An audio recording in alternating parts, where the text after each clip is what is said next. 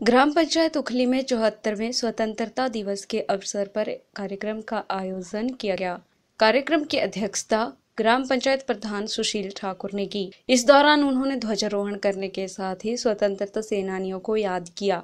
सुशील ठाकुर ने कहा कि जहाँ स्वतंत्रता सेनानियों ने कई बलिदान देकर इस देश को स्वतंत्र करवाया है, वहीं आज के दौर में हमारे वीर सैनिक सीमाओं पर अपनी जान की कुर्बानी देकर देश की रक्षा करने में जुटे हैं। उन्होंने हाल ही में शहीद हुए अंकुश व रोहन को याद करते हुए उन्हें नमन किया। पीएलटीवी के लिए हमीरपुर से ब्यूरो रिपोर्ट।